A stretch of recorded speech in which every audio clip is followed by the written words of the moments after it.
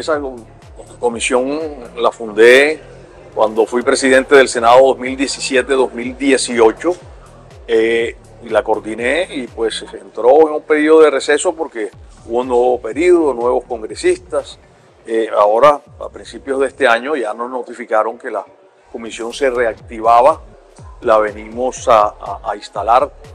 Hemos tenido logros importantes en lo legislativo, como la ley de, plazos justos. Yo fui ponente en el Senado, que no es menor, porque es la obligatoriedad a las grandes empresas que le paguen a las micros, pequeñas y medianas empresas en máximo 45 días. Antes tenían plazos de varios meses, hasta seis meses seguramente y más para pagarle. Eso les ha ayudado con la caja. Al ayudar con la caja, pues fortalece las empresas y pueden generar más empleo. También otra ley que se llama denominada la escalera de prosperidad, que es eh, una escalera mediante la cual las MIPIMES no tienen que pagar todos los impuestos inmediatamente, sino, sino por escalas, ¿no? De varios meses mientras se consolidan. Eh, tenemos eh, proyectos importantes como la necesidad del tema de los créditos. Tenemos otro logro importante que obtuvimos en la reforma tributaria que se llama el régimen simple.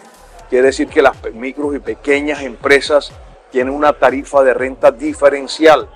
35% de la tarifa de renta, renta, para las empresas y estas van entre 3 y 14 y medio. que hay un alivio también, amén de los debates de control político que se han hecho.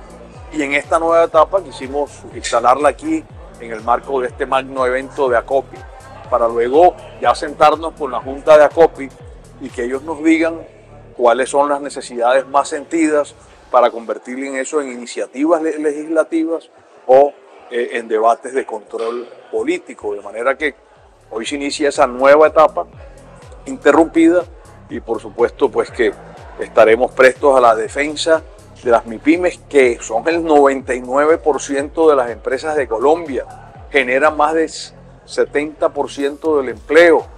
Pues, el Producto Interno Bruto, el producto es alrededor del 40%, de manera que no es menor la defensa, ahí son las, las más frágiles, las micros y pequeñas sobre todo, son muy frágiles y si no se le dan estos respaldos, muchas tendrán que cerrar y esos cierres pues eh, generan también desempleo, mucho desempleo, lo que queremos es que sigan consolidándose y que sigan creciendo, por eso unas iniciativas va a ser eh, eh, el acceso al crédito tan necesario para la conciliación, para esta empresa.